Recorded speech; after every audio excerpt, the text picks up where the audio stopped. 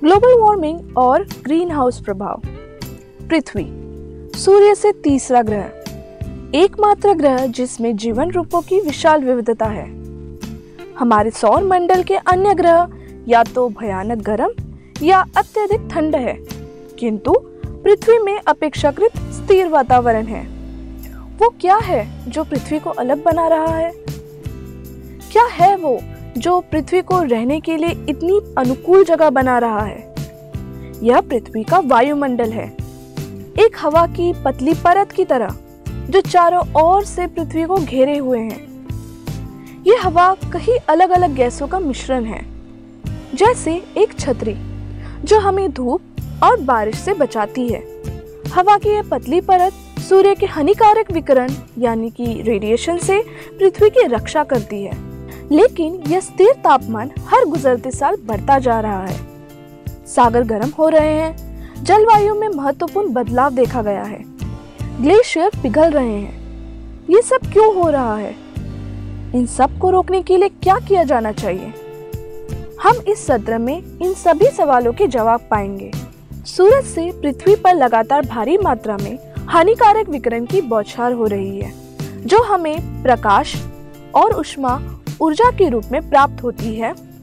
दृश्यमान visible UV ultraviolet अवरक्त infrared किरणों के रूप में इस विकिरण को सतह पर पहुँचने से पहले पृथ्वी के वायुमंडल को पार करना पड़ता है।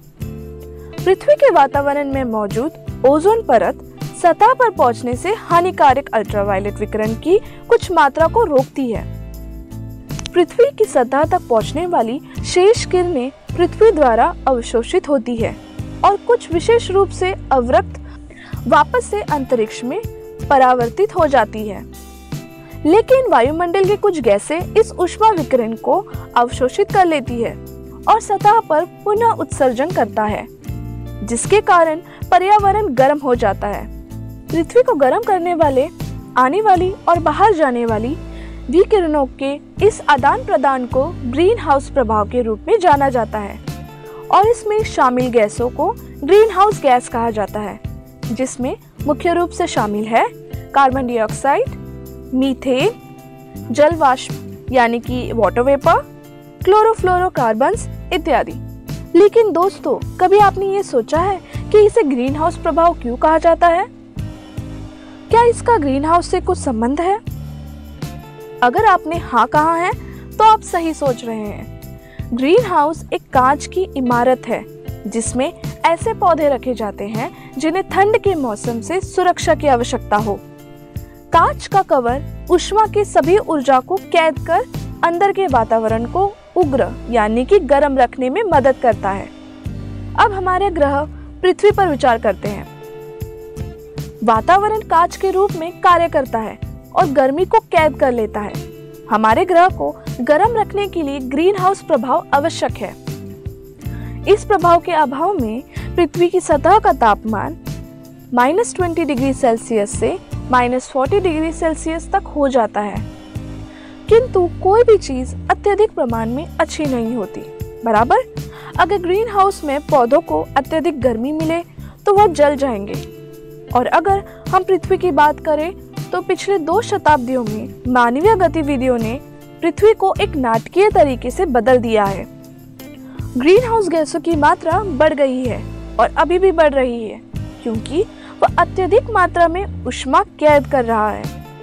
और ग्रीन हाउस प्रभाव की इस अधिकता के कारण ग्लोबल वार्मिंग होता है, जो पृथ्वी के औसत तापमान को बढ़ाता है। ग्लोबल वार्मिंग के परिणाम बहुत बड़े हैं।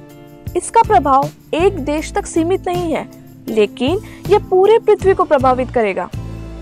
इस तथ्य को जानते हुए कि ग्लोबल वार्मिंग मौजूद है और मानव निर्मित कार्बन डाइऑक्साइड उत्सर्जन के कारण यह हुआ है। अंतर्राष्ट्रीय ट्रिटी द क्योटो प्रोटोकॉल पर हस्ताक्षर करने के लिए दुनिया के कई राष्ट्र एक साथ आए हैं। इस प्रोटोकॉल का प्रमुख उद्देश्य अपने 1990 के स्तर से लगभग पाँच प्रतिशत तक ग्रीन हाउस गैसों को कम करने की प्रतिबद्धता करता है। लेकिन हमारे द्वारा क्या किया जा सकता है? हम ग्लोबल वार्मिंग को कम करने के लिए कैसे योगदान दे सकते हैं?